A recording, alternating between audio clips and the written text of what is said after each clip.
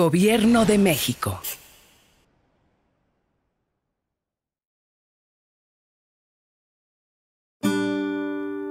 Su sustancia está hecha de evocación, recuerdo, rememoración y de lo que toma del porvenir. Porque es una parte fundamental de nuestra identidad. Somos nuestra memoria. El programa de Lina que nos lleva de viva voz con los especialistas. Muy buenos días. Esto es Radio INA. La Secretaría de Cultura y el Instituto Nacional de Antropología e Historia los invitan a acompañarnos en una emisión más de la serie Somos nuestra memoria. Yo soy Evanibaldo Morales. Y en esta ocasión contamos con la presencia del director del Sistema Nacional de Fototecas, Juan Carlos Valdés Mari. Me es grato dirigirme a usted para hablar del tema de investigación a 180 años de la fotografía. Bienvenido ante estos micrófonos. Muchísimas gracias, muchas gracias por la invitación y es un gusto poder nuevamente estar ante los micrófonos de nuestra querida Radio INA para compartir un poco las experiencias que tenemos en el Sistema Nacional de Fototecas, Fototeca Nacional, y hablar un poco sobre el evento que nos convoca, que son los 180 años de la fotografía, y cómo se va a reconocer dentro del Encuentro Nacional de Fototecas. Maestro Juan Carlos Valdés ya ha estado en un par de veces en este programa hablando de la fonoteca, del SINAFO, y en esta ocasión, como bien dicen, en el contexto del siguiente encuentro, del vigésimo Encuentro Nacional de Fototecas, del que hablaremos más tarde, vamos a platicar en esta ocasión de la invención de la fotografía a 180 años de la invención de este maravilloso eh, soporte de imagen. Y bueno, vamos a háblenos por favor de los inicios de la fotografía. Bueno, la fotografía se, se, inicia en el siglo XIX, aunque hay antecedentes del siglo XVIII, donde a partir del uso de la, lo que se conoce como cámara oscura o caja oscura, como le llaman algunos, se podían realizar ciertos eh, registros a través de trazos de luz. Pero no es hasta 1816 cuando un francés, Nicéphore Niepce, comienza a experimentar con eh, materiales fotosensibles muy rústicos, muy primitivos, para utilizarlos sobre papel y lograr las primeras imágenes a través de una cámara oscura. ¿Qué era una cámara oscura? Pues no era otra cosa más que una caja de madera que tenía un orificio al cual se le llama estenopo. Y a partir de ahí, y, digamos, se penetra la luz y se fija en este caso en un elemento que es fotosensible, como era la hoja de papel. Esto, digamos, era un, proceso muy, muy eh, rústico, bastante elemental, pero fue los inicios, digamos, para registrar la luz, para dibujar con luz, como después le llamó Talbot. Eh, en 1922 eh, eh, Niepce sigue experimentando y les llama a sus trabajos que realizó puntos de vista. Nunca habló de fotografía, sino llama que era el punto de vista. De hecho, en 1826 eh, se considera que mucha gente, muchos investigadores, sobre todo en Francia, hablaban de que él desarrolló la primera imagen fotográfica, nunca le llamó imagen fotográfica, le llamó punto de vista, y era un bodegón durante muchos años se consideró que esta imagen del bodegón, unas, frutas ahí presentadas en la imagen sobre una lámina, se consideró como la primera fotografía en el mundo. Sin embargo, esta placa es, eh, al, parecer es un mito porque nunca se ha encontrado precisamente la misma, ¿no? Eh, pero es hasta 1826 cuando surge, digamos, la primera fotografía como tal, que elaboró a, a, través de una lámina de peltre cubierta con betún de Judea y agentes fotosensibles, donde después de la exposición de varios días en la cámara oscura, en, el, este, en la, ventana del departamento que él, ocupaba, registra precisamente esa visión de la calle. Por eso se llama el punto de vista desde la ventana de Gras, es el título de la imagen. Perdón, para quien no sabemos qué es el betún de Judea, ¿sabe más o menos, nos puede explicar? Sí, cómo no, el betún de Judea es, el, es, una, es un compuesto eh, químico muy sencillo que es el, digamos, el agente que se utiliza actualmente para la grasa de zapatos. ¿sí? Es un elemento eh, aceitoso que se colocaba directamente sobre la placa de peltre, posteriormente elementos fotosensibles, que en este caso era un proceso muy, muy, muy, muy rústico, que se colocaba justamente en el respaldo de la cámara oscura y a través del pequeño estenopo penetraba la imagen, la luz, perdón, transportando la imagen como lo haríamos, digamos, como lo hicimos muchísimo en la secundaria, ¿no? con los experimentos de física, o sea, que hiciéramos un cubo con un respaldo de papel este, de China, un pequeño orificio, y a través de veíamos, digamos, las imágenes invertidas, digamos que sea el proceso óptico, ¿no? que se, se da por la defracción de la luz. En este caso, esta imagen, del punto de vista desde la ventana de Gras, está considerada la primera fotografía en la historia. Estamos hablando de 1826. Pero sucede que dentro del ámbito ya de la fotografía como una disciplina científica no es reconocida sino hasta 1839. Por eso decimos los 180 años. Exactamente. El 19 de agosto, cuando eh, François Arago, eh, que era miembro de la, en este caso de la Academia de Ciencias de París, presenta entre esa academia y la Academia de las Bellas Artes el experimento o descubrimiento de Luis Mandé Daguerre, que se conoce como daguerrotipo. Y es ahí cuando oficialmente se determina que es la, primer, la primera fotografía, o es el origen de la fotografía, digamos, pero porque es reconocida precisamente por una instancia científica. Pero tenemos el antecedente precisamente de, de Niepce. Curiosamente, se asocia con Daguerre. Daguerre era un comerciante muy hábil, eh, pues se apropia la experiencia del trabajo de Niepce, él lo desarrolla y lo perfecciona. Niepce lamentablemente este, no es reconocido hasta posteriormente y pues la gloria se la ha llevado siempre Daguerre. Por fortuna ya en los últimos 20 años se ha dado precisamente ese reconocimiento al trabajo realizado por Niepce y es lo que ha permitido precisamente que él ocupe un lugar muy importante dentro de la historia de la fotografía. Estas, por ejemplo, las exposiciones que hacía Daguerre como su socio, ¿cuánto tiempo se llevaba en captar una fotografía? Lógicamente, con el, eh, con el desarrollo tecnológico, tanto de las cámaras como el desarrollo de la preparación de las placas del daguerrotipo, los tiempos de exposición eran muy prolongados. Estamos hablando de minutos. Las imágenes que se han hecho llegaron a ser días.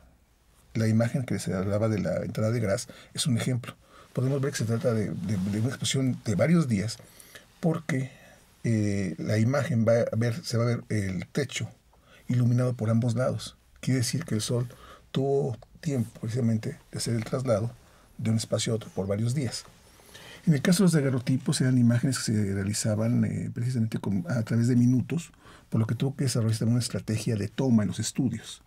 Generalmente a las personas les colocaba un sostén de cuello para que no se movieran y siempre aparecen recargados sobre un, eh, mueble o bien sentados de manera fija, eh, procurando no parpadear, porque por, los, por el tiempo de exposición que llevaba la cámara. Pero incluso, y, más adelante, lógicamente, fue evolucionando conforme fue evolucionando las lentes, que ya no eran un estenópolis, no ya eran lentes precisamente para las cámaras, con la preparación de, las, las, placas de cobre plateadas con bromuro, con yodo, que también se fueron perfeccionando. Eso hizo que los tiempos de exposición fuesen cada vez más cortos. Digo, no son tan de milésimas como actualmente, ¿no? Pero sí eran más cortos. Y aquí surgen varias cosas simpáticas, ¿no? Por ejemplo, las fotografías de niños. Quienes tenemos niños o convivimos con niños sabemos que los niños son inquietos. No se puede estar sentados en un solo lado y tiene que estarse moviendo constantemente.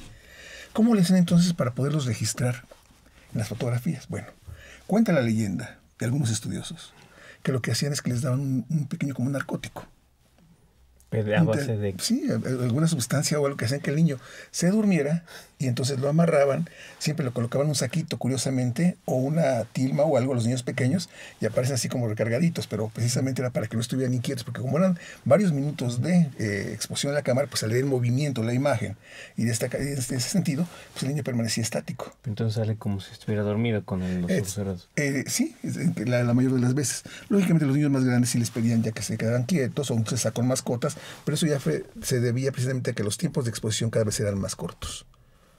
Pero sí, este, eh, esto permitió precisamente que la fotografía como una disciplina se fuese, digamos, eh, desarrollando y se fue perfeccionando no solamente con el avance tecnológico en las cámaras, sino también en los procesos que se fueron desarrollando. Es decir, surge el daguerrotipo, posteriormente el proceso que era el ambrotipo y el ferrotipo. Estos tres elementos se les llaman imágenes de cámara son imágenes únicas, no hay negativo. Es decir, la imagen que vemos en una de esas piezas es única, no hay dos en el mundo igual. Por lo tanto, digamos, son imágenes de una eh, delicadeza en el trato y de una gran fragilidad. El daguerrotipo es elaborado en una placa de cobre con plata, el ambrotipo es una placa de vidrio con betún de Judea y plata, y el ferrotipo es una lámina de fierro con betún de Judea y plata. Pero son imágenes que precisamente fueron las que originaron, digamos, el desarrollo de la cultura fotográfica. La fotografía en este caso eh, era un registro, que no surge como tal para lo que se consideraba. ¿eh? Mucha gente piensa que su origen fue para el retrato, no. La idea de la guerra era precisamente que se utilizara como un, un método científico para registrar la realidad, más no la verdad, sino la realidad. Es decir, se llegó a utilizar para las expediciones al Cairo, donde existen algunas imágenes tanto en Francia como en Reino Unido. Eh, y pero posiblemente él vio los fines comerciales que podía tener y precisamente con la idea que tenía la gente, sobre todo en el siglo XIX, adquirir una pintura donde se, se viese reflejado él, encontró que en el agrotipo, si bien era una pintura, era la forma en la que se podía, eh, esa, digamos, la clase dominante o la burguesía de la época, lograrse registrar y, digamos, y permanecer a través del tiempo a través de una imagen, en este caso de un agrotipo. Posteriormente surge con Henry Fox Talbot el desarrollo de lo que conocemos como el negativo, el negativo fotográfico, la matriz original, a partir de la cual podemos obtener infinidad de piezas positivas. Este primer negativo era una hoja de papel, de papel salado, sensibilizado y recubierto con cera, que al momento de ser registrado en la cámara, se obtienen lógicamente los tonos invertidos, como ocurre en un negativo que conocemos normalmente, y posiblemente por contacto con otro papel salado preparado y expuesto al sol, y posiblemente revelado con agua, se obtiene una imagen positiva. No se revelaba con los químicos que se usaron en los últimos tiempos, sino simplemente con H2O. Exactamente. Por eso se les conoce dentro del medio como printing out paper, o sea, impresiones de, o sea, eh, papeles de impresión directa, sin contacto químico. Y por ejemplo, ese negativo se podía usar más de una vez o solamente una vez? Se usaban varias veces, precisamente esa era la idea. Lógicamente por la fragilidad del papel, por el recubrimiento que era con cera, a veces con cera de abeja, eh, y sobre todo por el que eran, un papel es un elemento muy muy sensible a cambios de temperatura, de humedad y de, ataque biológico, no tenía mucha permanencia. De hecho, permanecen o prevalecen muy pocos, sobre todo en Francia. O sea, en, en Estados Unidos algunos museos, pero es muy difícil encontrarlos. En Fototeca es el único proceso que nos hace falta para, digamos, tener toda la, prácticamente toda la historia de la fotografía tecnológicamente hablando. Toda la gama de soportes. Exactamente.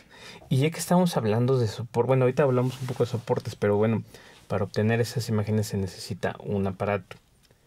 Como, así como nos ha hablado de la evolución del, soporte, la evolución de la cámara, cómo ha sido, de qué tamaño eran las primeras, qué tan grandes llegaron a ser. Y bueno, pues ahora conocemos que prácticamente todos en el celular tenemos una cámara. ¿no? Claro. Pues las cámaras fueron evolucionando de, la, caja de, madera a elementos, digamos, ya metálicos. Lógicamente la evolución se da a partir de los formatos deseados por los fotógrafos. Eh, lógicamente una cámara de gran formato impedía que se pudieran trasladar de manera muy sencilla, aunque en los inicios así fue. De hecho, los primeros fotógrafos del siglo XIX eh, se transportaban con, esto lo que era el equipo, ¿no? la cámara fotográfica, los lentes, porque no era uno solo, sino eran diferentes tipos de lentes de acuerdo su este, nitidez, adecuada a su profundidad de campo, en fin. Y esto lo que hacía era precisamente que trabajaran también con los soportes que hablamos porque eh, lo importante era que el formato de la cámara iba a determinar también el, el tamaño del negativo que se iba a emplear. Ejemplo de ello es que toda la producción del siglo XIX predominó formato 5 por 7 pulgadas. ¿sí? Aunque en ocasiones llegaron a ser eh, formatos de 8 por 10 pulgadas e incluso hasta 11 por 14 pulgadas. Esto lo que hacía era favorecer también el de, eh, la, la, calidad de la imagen fotográfica. En este caso, a veces en, a mayor formato, mayor claridad, mayor nitidez, mayor, este, mayor calidad. Y esto era precisamente, el impedimento era esto, ¿no? Era trasladarse con todo el laboratorio al lugar donde se iba a hacer. Por ejemplo, los fotógrafos viajeros, que lo que conoce como fotógrafos viajeros en México, que eran principalmente europeos norteamericanos, que recorrían prácticamente la, todo lo que era la, eh, la República Mexicana para hacer su registro por parte de las compañías que los contrataban, pues iban con un equipo muy grande, muy amplio y sobre todo con un equipo también humano que les apoyaba precisamente para el desarrollo de su actividad. O sea, no era un solo fotógrafo, sino necesitaba, necesitaba perdón, eh, varias personas que lo acompañaran para montar la cámara. Así es, la mayoría de ellos así lo hacía. Llevaba su equipo, su staff, vamos a llamarle un staff, que les apoyaba precisamente para cargar el equipo, así como para preparar los reactivos. Porque algo que es muy importante comentar es que los primeros negativos posteriores al, al, al calotipo, el hablo del negativo papel, fueron los negativos de vidrio, que se conocen como placa húmeda de colodión. Esto era que antes de la toma el fotógrafo preparaba el negativo, es decir, se metía a una pequeña, eh, vamos a llamarle cabina, donde preparaba los químicos con total oscuridad para que no se fuera a velar. Antes de que secara, el colodión, lo colocaba en el respaldo, o el chasis de la cámara, lo colocaba en el respaldo y hacía la toma. De esta manera, eh, la, luz o la imagen que se, que se, captaba se registraba en la pieza y desde ahí a revelarla. Es cierto, era un proceso bastante complicado, no como ahora, como bien lo comentas, de que sacamos el celular y podemos estar uh -huh. haciendo disparos o filmando sin ningún problema, ¿no? Aquello era realmente una cuestión bastante, bastante complicada. Ahorita tocó un tema, decía los fotógrafos viajeros, bueno, la fotografía nace en Europa y qué tan rápido se esparce este invento por el mundo y en qué años llega a México. Curiosamente, a México es, es uno de los primeros países que llega. Llega seis meses después de su, de su, digamos, registro ante la Academia de Ciencias de Francia. Llega también en el año de 1839. Y es entonces cuando se hace el, primer registro fotográfico, se hace en el puerto de Veracruz, por un fotógrafo francés llamado Jean Prelier Dudoil.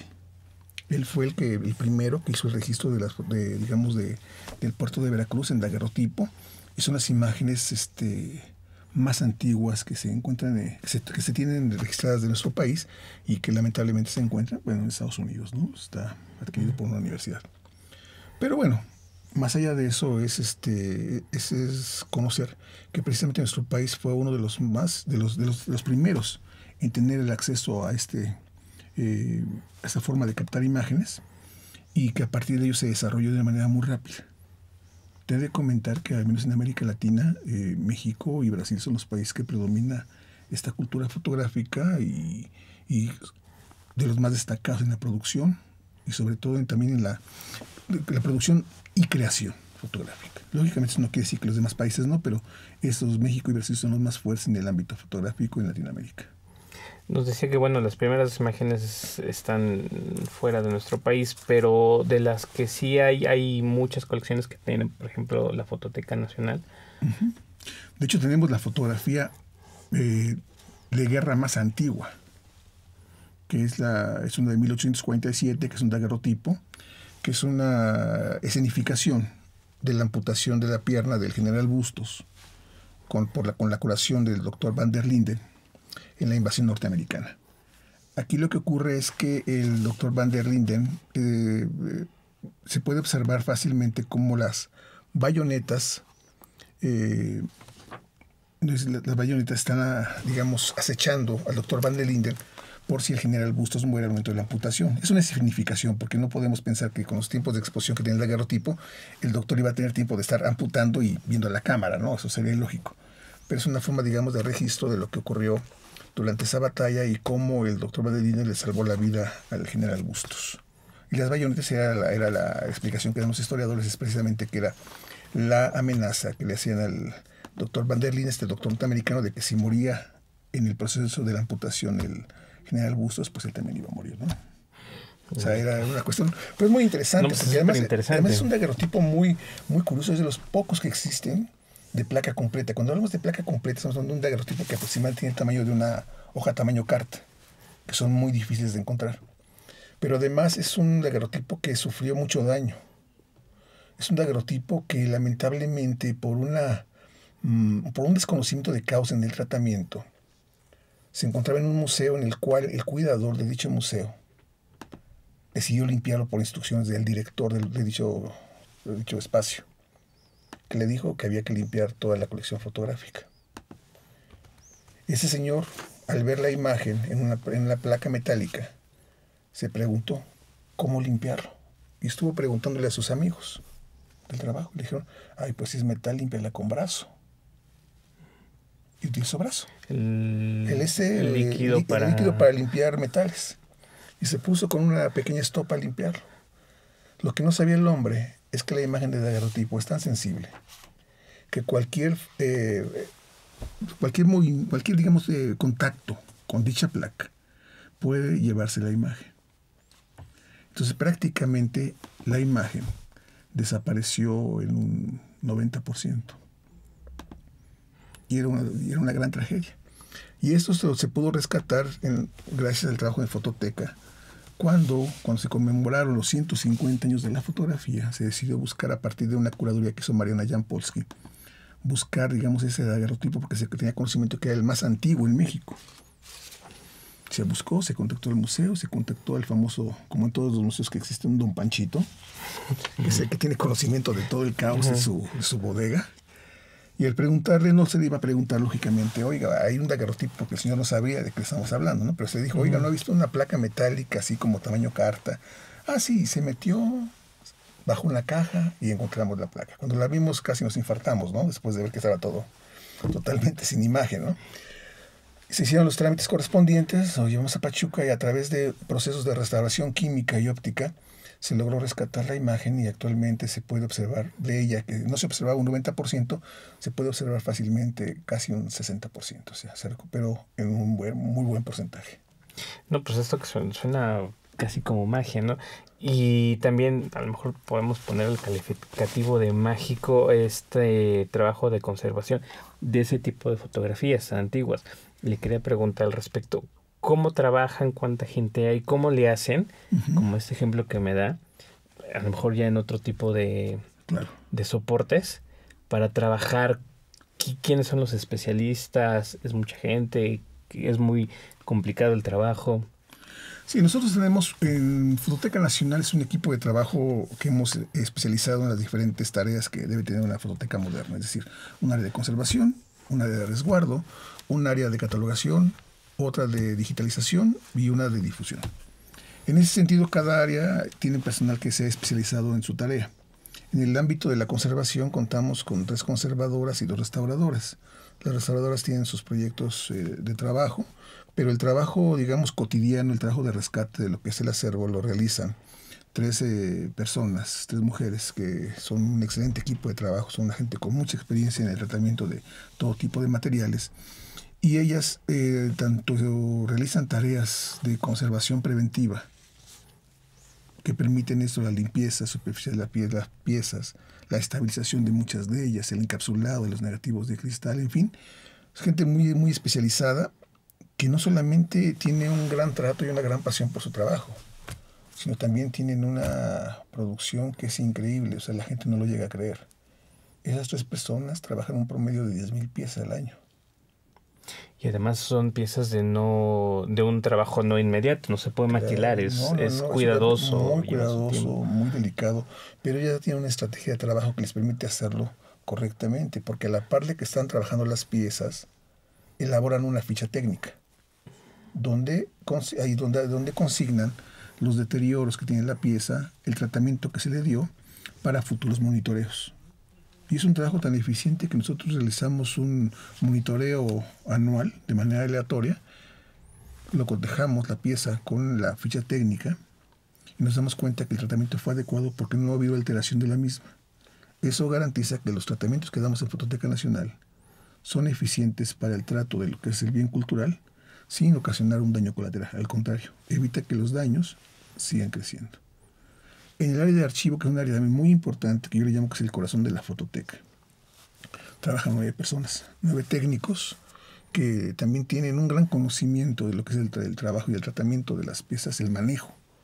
Y ellos son los que monitorean todos los días el porcentaje de humedad, la temperatura de las áreas de almacenamiento, el control de, digamos, de, del material en área de, de resguardo, eh, que no exista ninguna falla eléctrica, que se encuentre todo en su lugar, y ellos mismos distribuyen los bienes culturales a las diferentes áreas para el trabajo cotidiano. Son pocos, somos pocas personas realmente en Fototeca, en total somos 38 personas para trabajar un poco más de un millón de imágenes.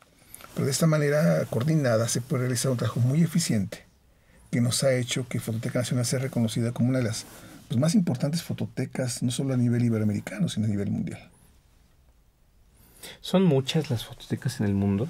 No, realmente, como fototecas como tal son pocas. Lo que existen más son archivos fotográficos o colecciones que se encuentran en museos o en bibliotecas. Pero fototecas como tal son pocas. Hay una en Francia, otras en Reino Unido, eh, en Alemania, por ejemplo, en Estados Unidos hay varias. Pero la mayor, eh, por ejemplo, en América Latina hay muchas que se llaman fototecas, pero no lo son, sino más bien son almacenamientos únicamente de colecciones. ¿Cuál es esta diferencia entre los almacenes y las fototecas? Porque las fototecas, pues yo siempre he dicho que la fototeca moderna tiene que ser un espacio dinámico, un espacio de, de constante movimiento, donde las piezas fotográficas no solamente se resguardan, se conservan, sino se difunden. Y esa es una de las tareas que muchas veces se, se olvidan, ¿no? Nos enfocamos tanto en la conservación del bien cultural que descuidamos la manera en la que este, puede, este bien cultural puede, ser, eh, puede acceder a la gente, puede disfrutarlo, puede investigarlo, puede gozarlo. Y es lo que hacemos nosotros precisamente. Nosotros partimos de una premisa muy importante. Conservar para difundir y difundir para conservar. ¿Por qué? Porque si tú no difundes lo que resguardas, no tiene razón de ser.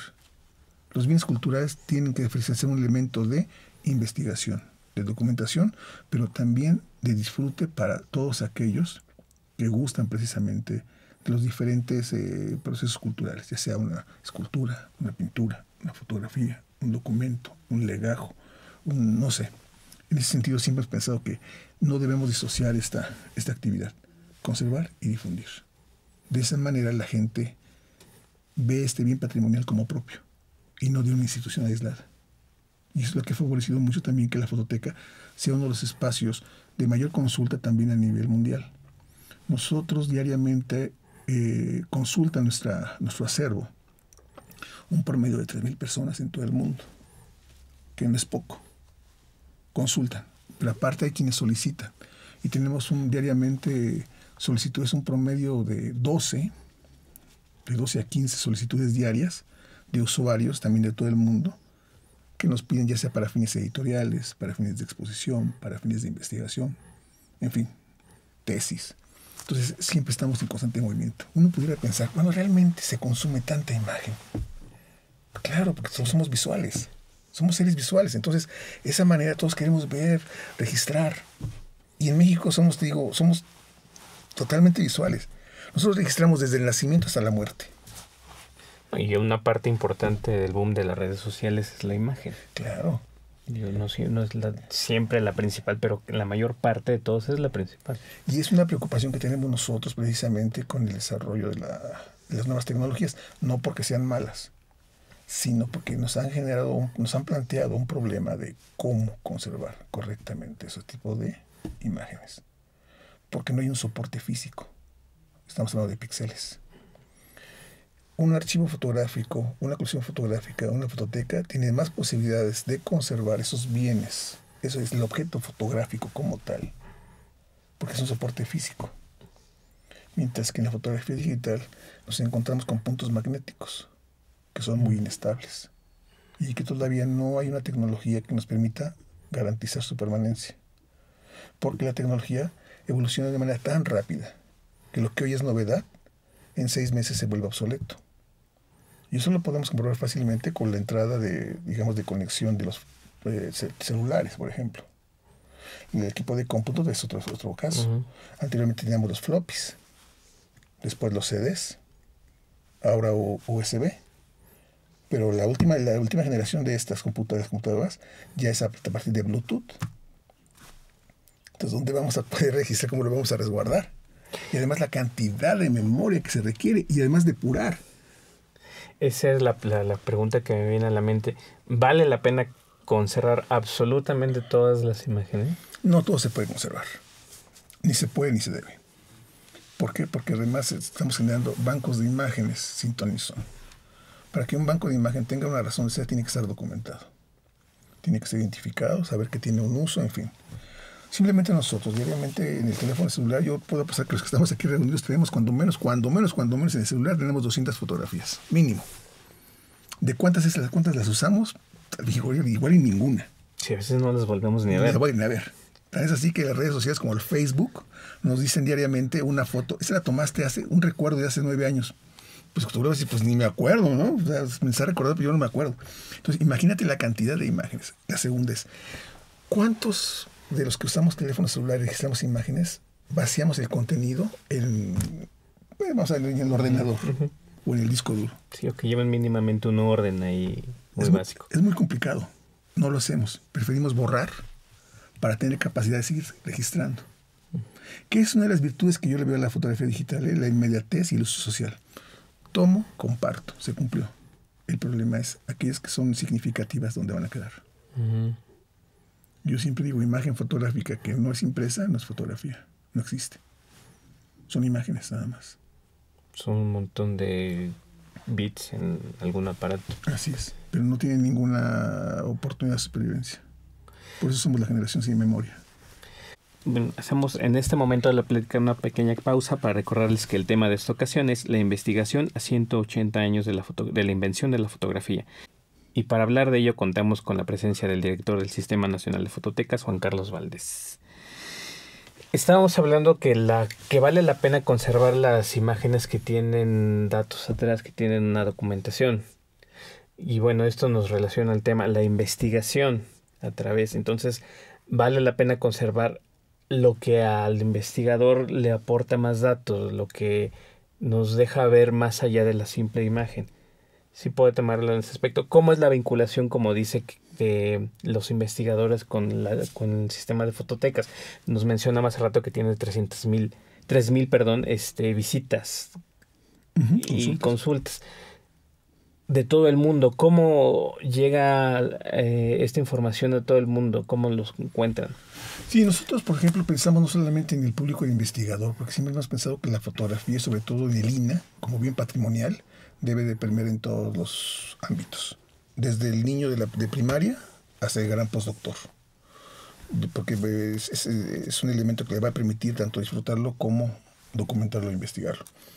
Nosotros, gracias a una plataforma que existe en el INA, que es la Mediateca, podemos a través de este reservorio este, distribuir la imagen en todos lugares, a cualquier hora, de cualquier día. De esta manera, eh, el usuario, ya sea público o interesado en la fotografía, como el gran investigador, podrá acceder por lo menos ahorita a un promedio de 400.000 imágenes del acervo de fototeca a partir de los cuales puede, de acuerdo a su ámbito de interés, navegar, observar y registrar aquellas que les pueden servir precisamente para sus procesos de investigación. Pero fíjate que una tarea que hemos desarrollado en Fototeca Nacional desde hace muchos años es precisamente darle a la fotografía el estatus de documento, no estampita. Muchos de los investigadores actualmente han entendido este proceso y han, también eh, están en comunión con nosotros en el entendido de que una imagen fotográfica también es una fuente primaria de documentación para la investigación, como son los textos escritos, como es de tradición oral. Y siempre hemos dicho, si, nosotros, si un investigador tiene esa habilidad de conjugar tanto la imagen como el texto, como la tradición oral, sus conceptos, sus ideas, sus hipótesis, sus tesis tendrán una mayor fortaleza porque no solamente está utilizando una fuente para externar su conocimiento, sino está, está recurriendo a otros elementos, a otras herramientas que darán precisamente un, resultado más, eh, más, más fuerte. Y en México, curiosamente, eso nos llena de gran satisfacción, se ha logrado de una manera muy eficiente. Actualmente existe gente de nuestro propio instituto que ha fomentado este tipo de investigación, como Rebeca Monroy, como Rosa Casanova, ¿sí? como Esther Acevedo, que son gente investigadoras de la ley, que precisamente utilizan a la imagen, no como una estampita, no como un elemento para justificar sus tesis, sino como un documento a partir del cual van a reconstruir procesos históricos. Y ese es, digamos, uno de los grandes valores que tiene la imagen. Y dentro de esta, de lo polisémica que llega a ser la imagen, es lo que garantiza que cualquier disciplina prácticamente pueda acceder a ella.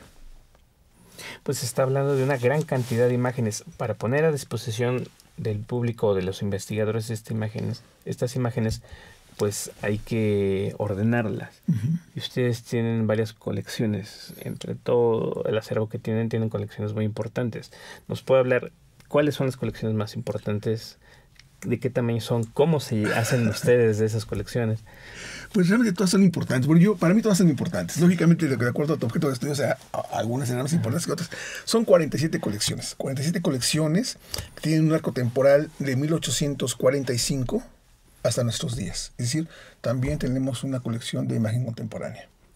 Dentro de las que sobresalen, podría hablarte la de, lógicamente, con la que se crea la Fototeca Nacional, que es la colección del archivo Casasola de este archivo que se le considera, digamos, de la Revolución Mexicana, que curiosamente es de, lo que menos tiene, ¿no?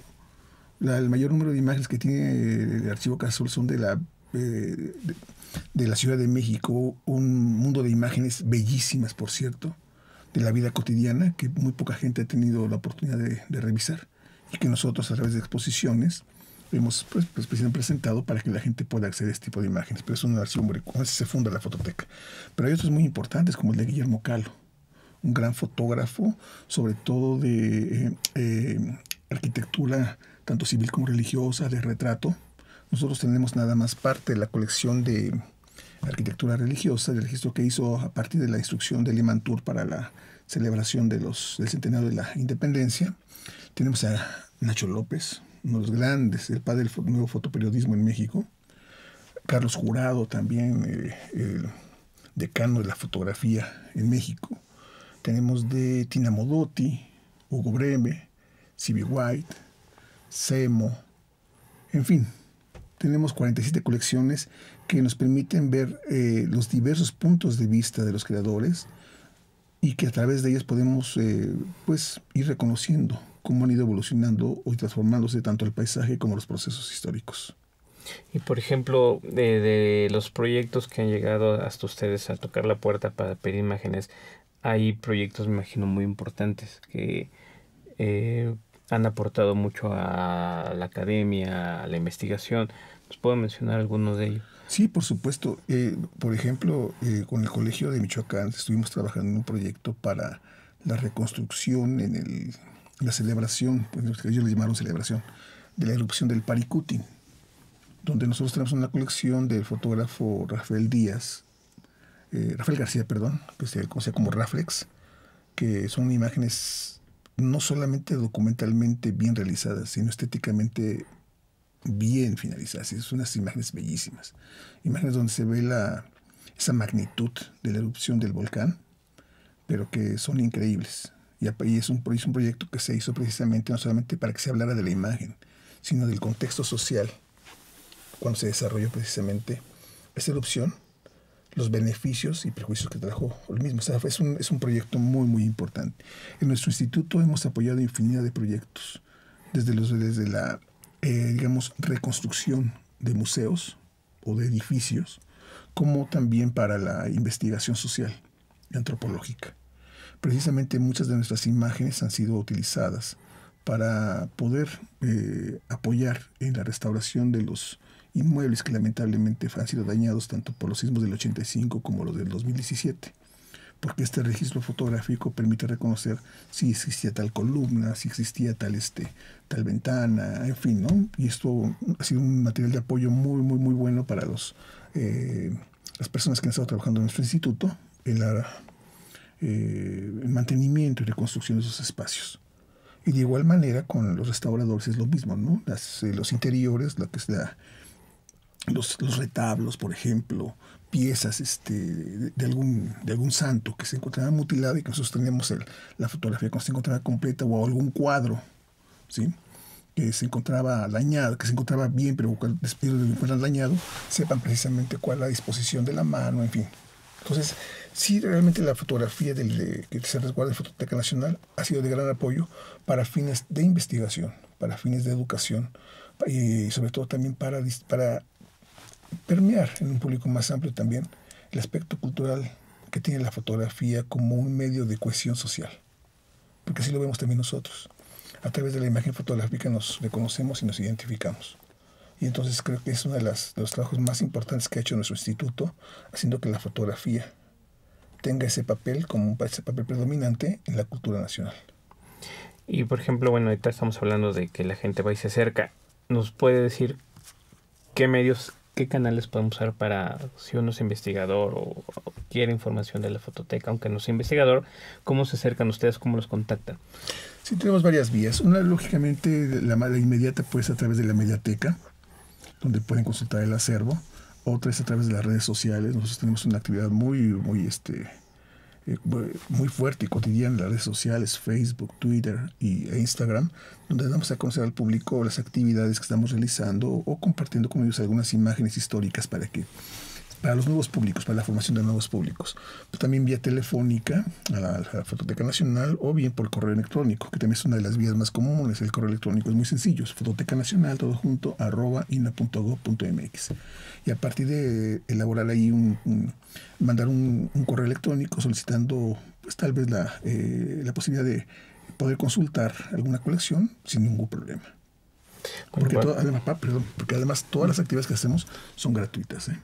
Bueno, es muy importante mencionar que no se cobra y también es importante mencionar que en nuestra publicación pondremos a su exposición estas ligas, la dirección del correo electrónico en las en los comentarios que ponemos dentro de nuestra publicación en YouTube y en el blog de Radio. Y retomando esta parte de las investigaciones, eh, hablamos que este tema lo traemos a colación a partir del vigésimo Encuentro Nacional de Fototecas.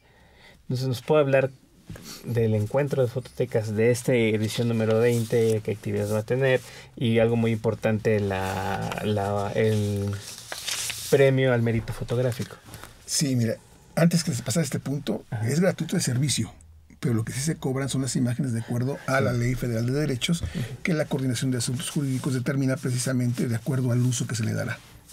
Generalmente eh, no tiene ningún costo cuando se apoya para trabajos eh, de, investigación de instituciones culturales o de universidades que tienen convenios con nuestro instituto.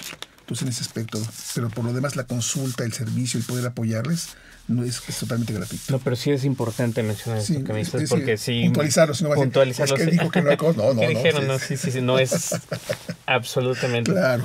teniendo las reservas del caso. ¿no? Claro. Bueno, entonces ahora sí re- retomamos la parte del encuentro. El encuentro, el encuentro, este 20 encuentro, vigésimo encuentro de las Zafotecas, es, este, es, es, es muy especial.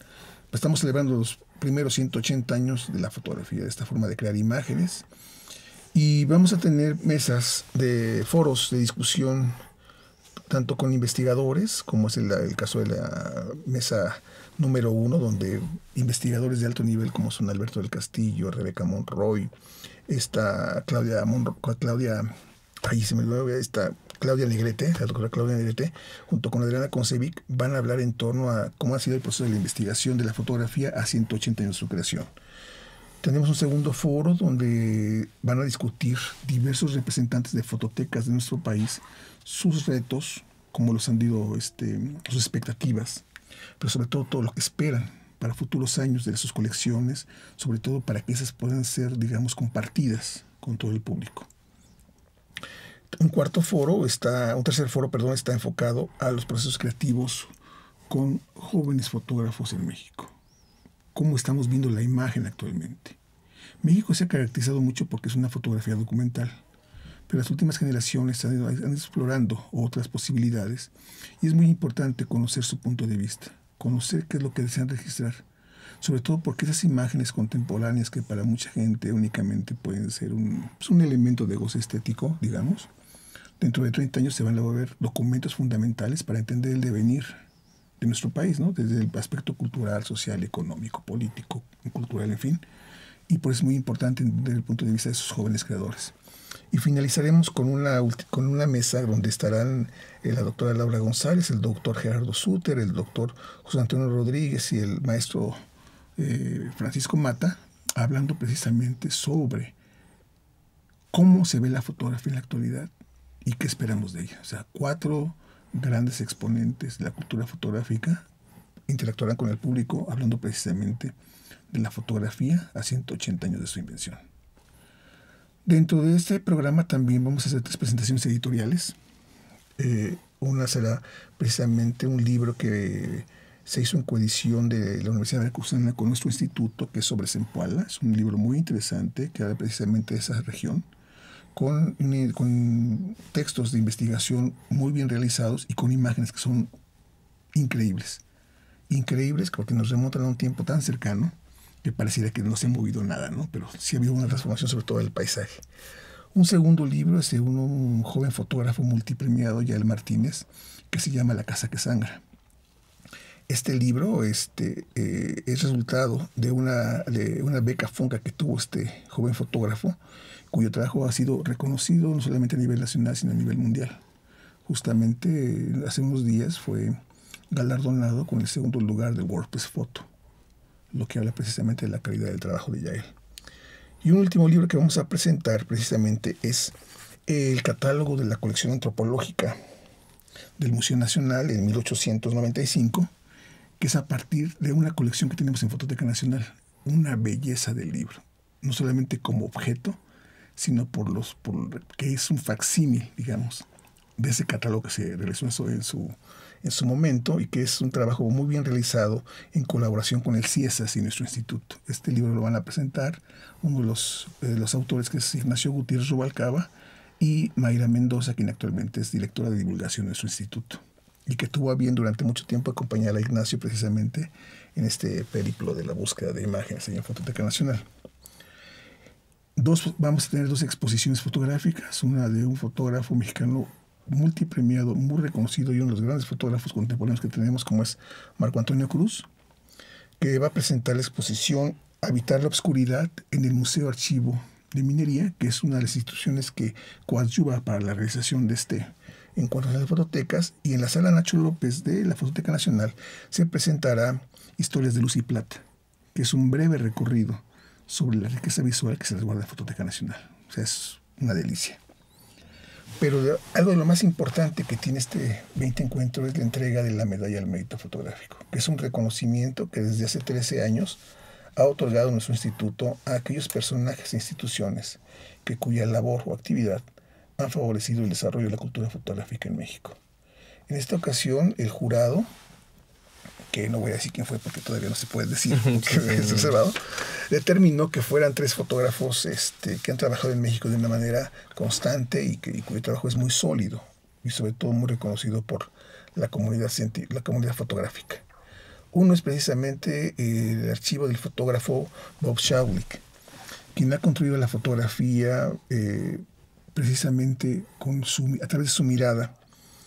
Eh, todo lo que ha sido el, prácticamente todo el país, sobre todo muy, muy ubicado en la fotografía antropológica, pero además con una mirada muy respetuosa hacia los grupos, pero, pero con una gran, después se refiere a una gran calidad humana. O sea, es de los pocos que ha podido realizar esta, ese, digamos, esa comunión con una comunidad indígena sin que haya ese rechazo o ese pose o estoy esperando, sino que las comunidades actúan de manera natural y eso permite que Bob registre de una manera más libre, mm, más amena, más romántica incluso, la actividad cotidiana de estos grupos. Hasta interviene menos, no, no, no la distorsiona. No, no distorsiona, no edita, sino es la toma directa. Y eso muy pocas personas lo pueden hacer. Y eso se debe precisamente a la forma tan respetuosa que Bob ha trabajado precisamente con estas comunidades, a la par de que se ha dedicado también a que su colección de cerca de 400.000 imágenes pueda ser de acceso público. Que es algo, que se ha reconocido también, porque pocos fotógrafos lo hacen.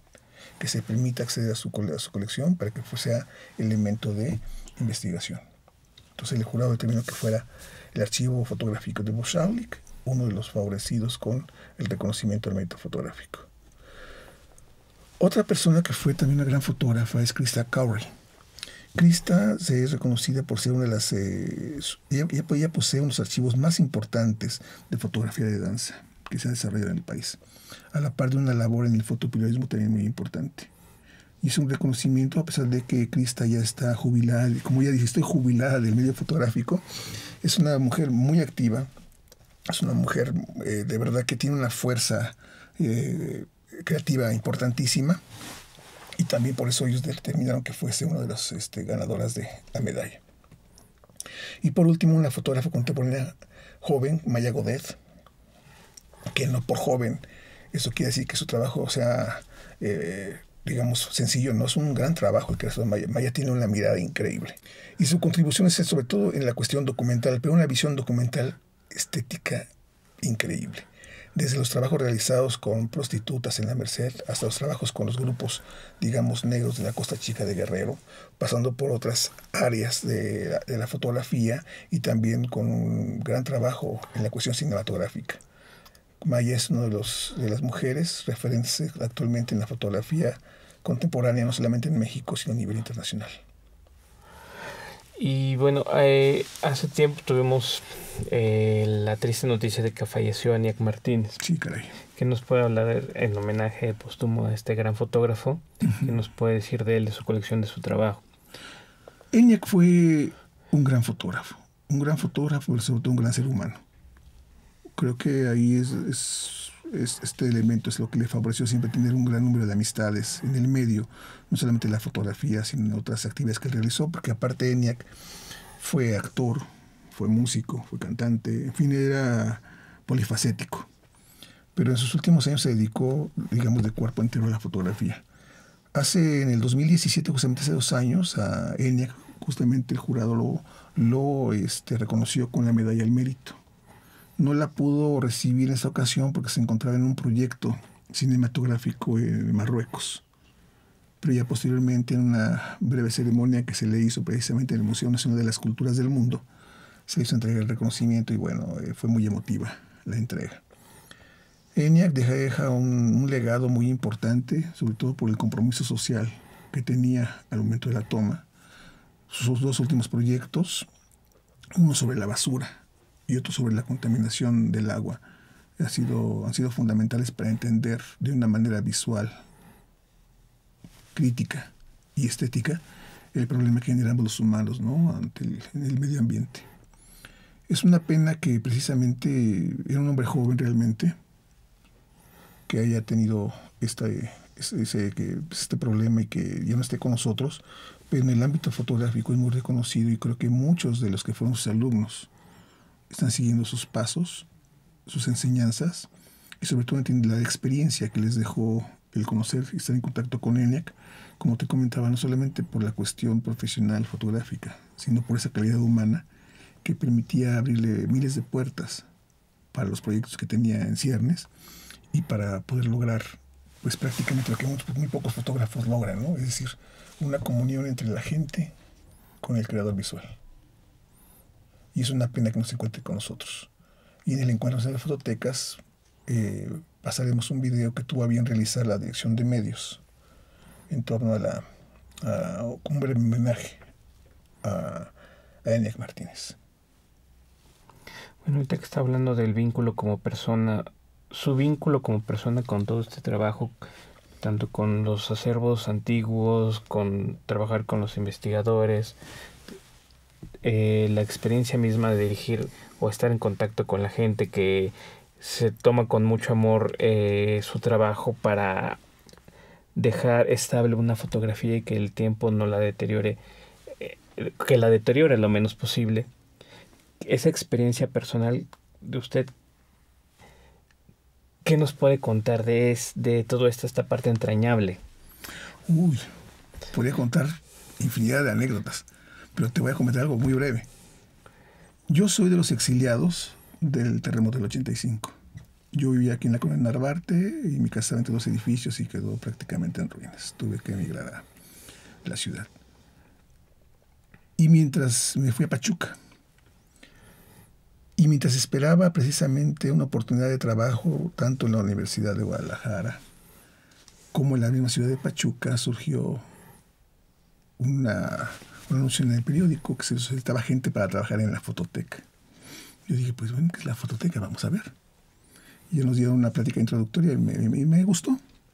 Pero yo decía, ¿yo qué sé de fotografía? Bueno, sí tuve fotografía en la universidad, yo estudié biología. Y uno de mis primeros uno de mis grandes maestros fue Iván Trujillo, que después fue director de la Filmoteca de la UNAM por muchos años. Y él nos daba cine para biólogos, pero aparte que nos daba cine, nos daba clases de fotografía. Y ahí es donde conocí los primeros procesos. Y bueno, pues sí, decían era un contrato por tres meses y dije, bueno, me quedo tres meses y después me voy a Guadalajara o, otro trabajo que, que, estaba buscando en la, en, la, en la Secretaría de Pesca de aquel entonces. Pues sucede que entré por tres meses y llevo 35 años. Me atrapó. Porque hay cosas en la vida que a uno le gustan, pero hay cosas que le apasionan. A mí la biología me gustaba mucho, pero la fotografía me apasionó. Decidí quedarme, tuve grandes maestros como Elezar López Zamora, que era el director de la fototeca en ese entonces, Servando Lechiga, que era mi maestro y amigo, que fue el que me dio las bases para la conservación fotográfica, y a partir de ahí fue, fui preparándome y pues me ha permitido precisamente desarrollarme en el campo de la fotografía.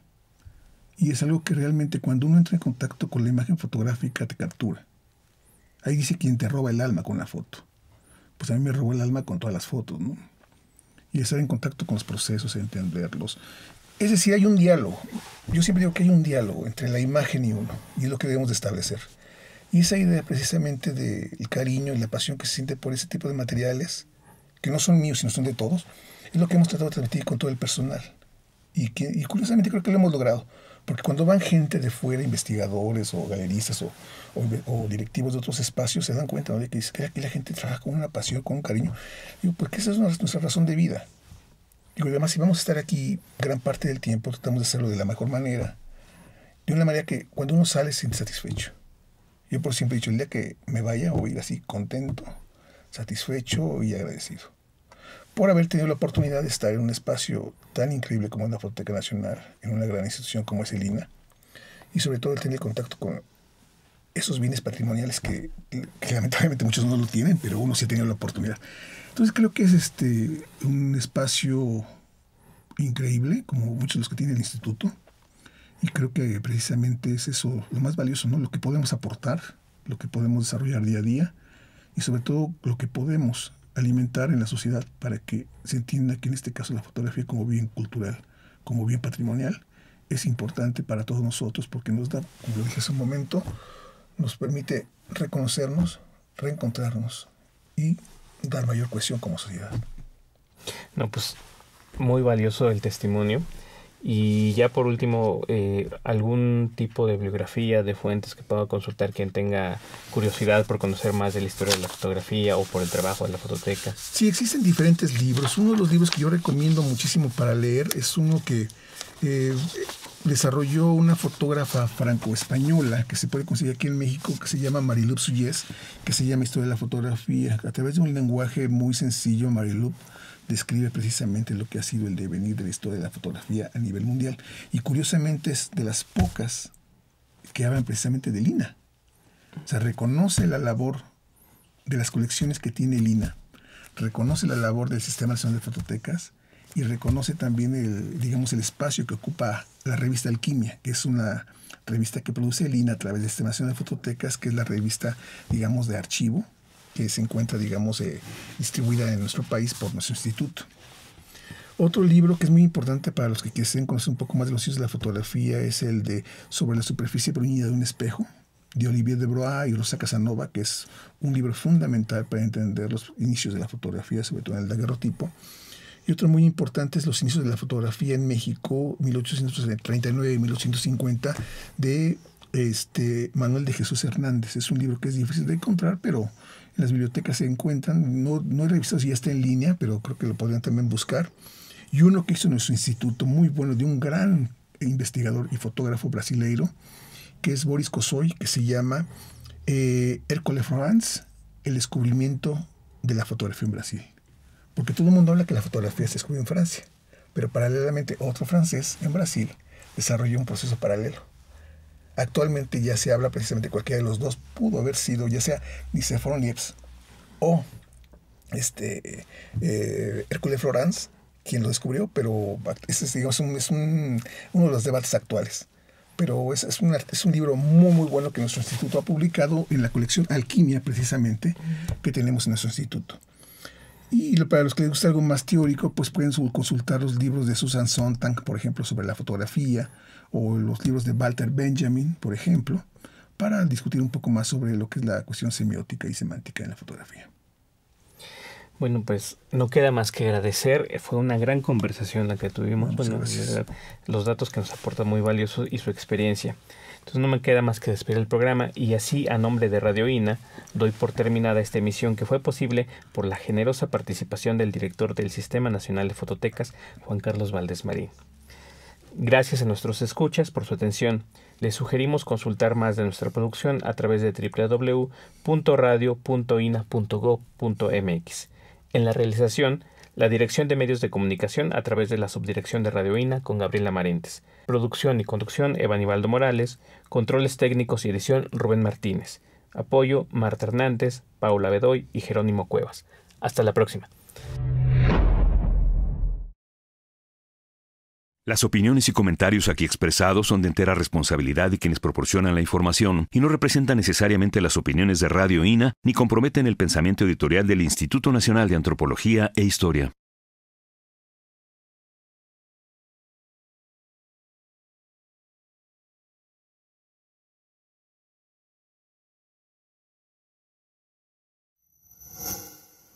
Gobierno de México.